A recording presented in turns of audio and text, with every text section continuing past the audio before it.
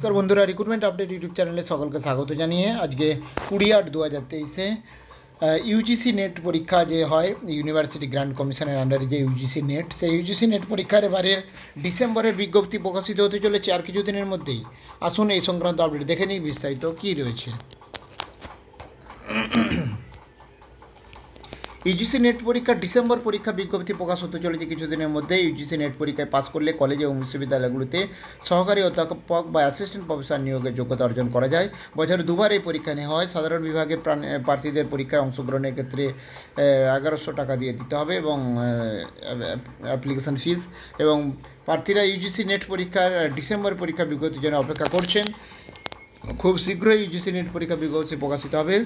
এবং আবেদন করার জন্য এনটিএর অফিসিয়াল ওয়েবসাইটে UGC NET dot NTA dot NIC dot in website গিয়ে অনলাইনে আবেদন করতে হবে। ইউজিসি নেট পরীক্ষা বিজ্ঞপ্তি এই মাসের শেষে বা সেপ্টেম্বরের প্রথম সপ্তাহে জারি হতে পারে, তবে এই মুহূর্তে এই বিষয়ে কোনো আনুষ্ঠানিক বিজ্ঞপ্তি জানানো হয়নি।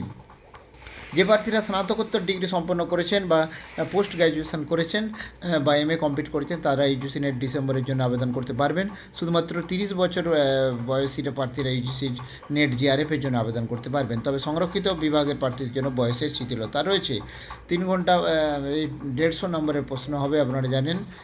তো এতে teaching aptitude research aptitude mathematics logical reasoning communication and এবং ডেটা ইন্টারপ্রিটেশন সহ বিভিন্ন সম্পর্কিত প্রশ্ন করা হয়।